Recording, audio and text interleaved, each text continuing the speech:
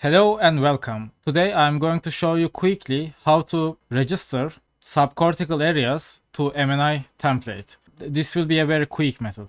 The reason why I'm doing this video is because one of my collaborators, Michel Morel from Maastricht University, recently asked me how to quickly register some anatomical data that she acquired at 7T to MNI space, but only concerning the subcortical regions, and more specifically subcortical regions around thalamus. As usual, let's start by having a look at our data. So first, I'm going to quickly show you the dimensions of one of the data sets. My first data is the MNI template that is at 0.5 millimeter isotropic resolution. And more specifically, this is the MNI ICBM 152 T1 weighted image. So this is Talairach nonlinear transformed and asymmetric 09B and you can see that this is at 0.5 millimeter isotropic resolution. So let's load it here to ITK snap first. Okay, this is the MNI data, all good.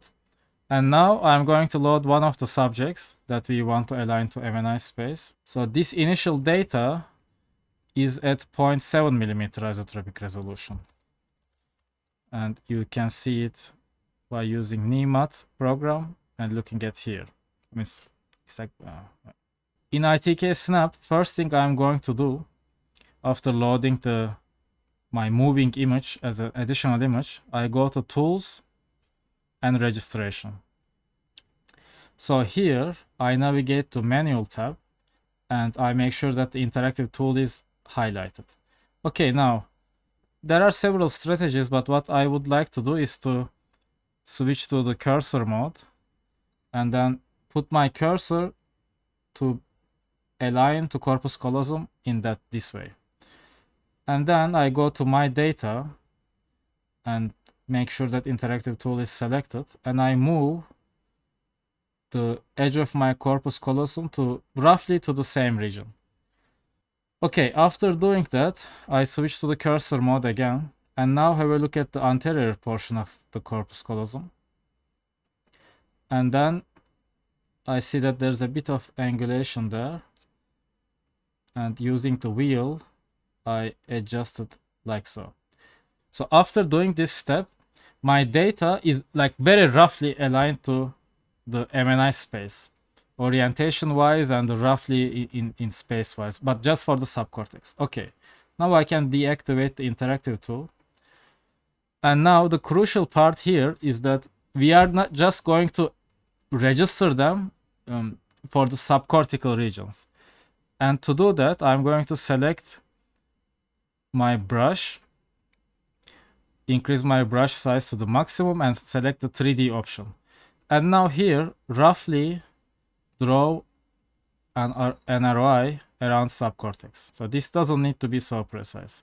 So now I'm navigating a bit upwards and again draw around subcortex to get the thalamus nicely. And I think this is okay for now. Once this mask is drawn, I switch to my individual subject T1 weighted data that is coming from MP2RAGE sequence and focus on the registration tab. I use the affine as my transformation model and image similarity metric is mutual information. This is fine but I activate use segmentation as mask, which means that the program will only optimize the registration within this mask, which is what we want to do. Also, as you can see, the outside is a bit too noisy in MP2RAGE image in this way. And here, for the coarses level, I'm going to select 2x and the finest level 1x. This is because we already aligned manually our image roughly to the MNI space. And this is an important step and more fail-safe rather than using it just automatically uh, because we already have a like a rough initial alignment. Now I'm going to click on run registration and see what happens. So you can see that it is translating a bit, rotating and then shearing as well because we use the affine transformation model and not rigid. You can see that the cost metric is decreasing as it registers and first it is doing it at a 2x downsampled uh, like a more coarser regime and then at the 1x that is our uh, voxel resolution regime and you can see that the cost metric is again decreasing nicely. Okay, so now what I can do is that by using the brackets keyboard buttons, I can switch between two images. And you can see that already thalamus is rather nicely aligned for a linear transformation, of course. We are not talking about nonlinear methods here that would give even more precise alignment. But using affine for a linear transformation, and just by focusing on the thalamus, of course, I'm not even looking at the cortex, this is pretty good. What I like to do is to actually run this one more time, because sometimes it uh, optimizes a little bit further. So after running it the second time, you can see that it still optimized a bit further the registration by decreasing the cost metric in this area, which means that it was a good idea to run it twice. Okay, now let's compare it again, maybe even a little bit nicer. Okay, so I am happy with this rough linear alignment for the subcortex. Now I'm going to save my transformation matrix. Um, and let's call it sub 02 to MNI. Okay. And now I can reslice. And it generates this third image. I am pressing S to basically enable disable the registration map. But in this third image that is reslice, now I can save it. And I can call it the same way, sub 02 uh, now I'm being quick. Register to MNI. Okay, we finish. Um,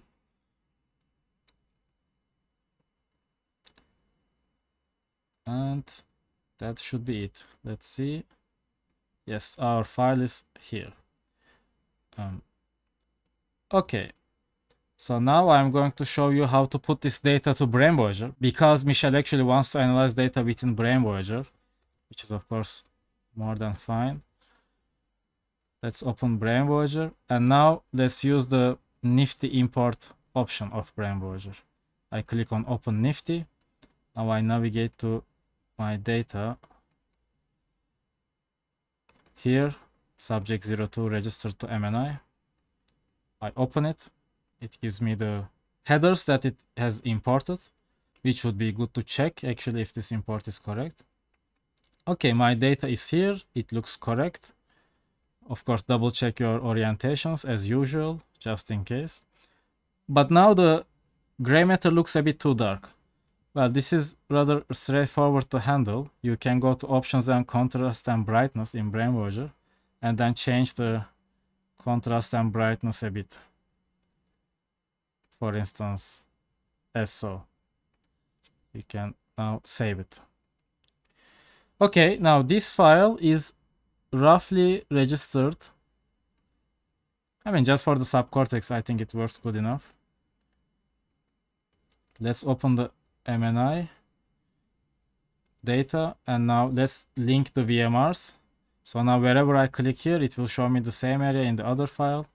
And see switching between files actually for the thalamus region they are pretty okay aligned given that we just spent a couple of minutes.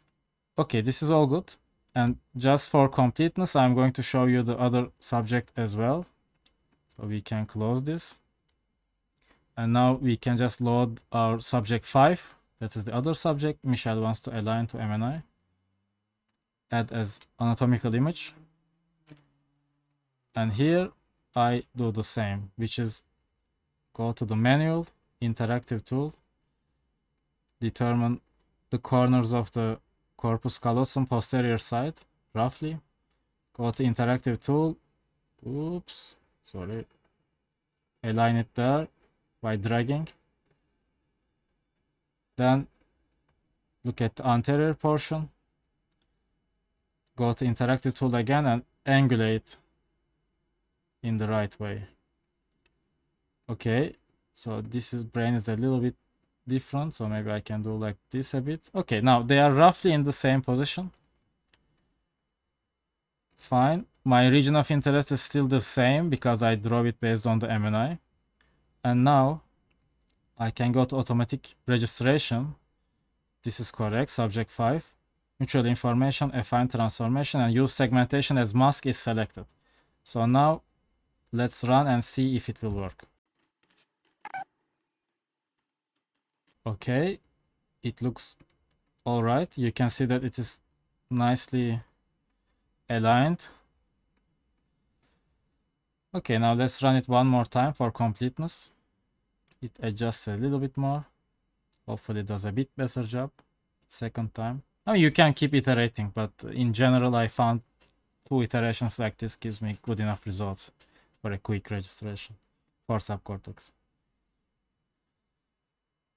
I mean, of course, one point is that this registration now can be used further uh, by combining it with more nonlinear tools like ANTS, for instance, or you can use it together with FSL uh, FNIRT, uh, the nonlinear registration tool. Yes, I am satisfied with this. This is good enough.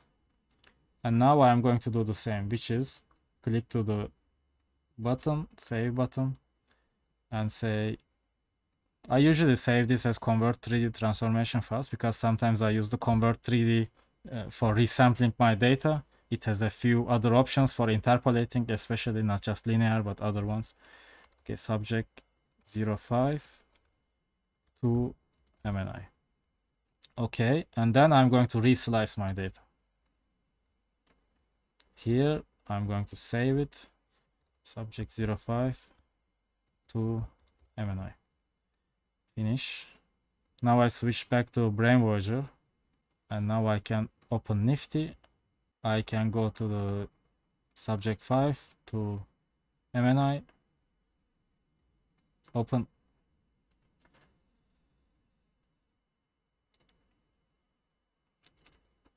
Quickly adjust the contrast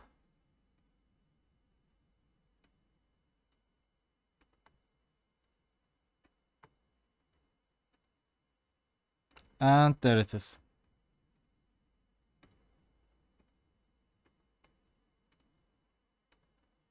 Okay, hopefully you can see that for the subcortical regions as a like a quick registration, this provides good results that can be achieved very fast.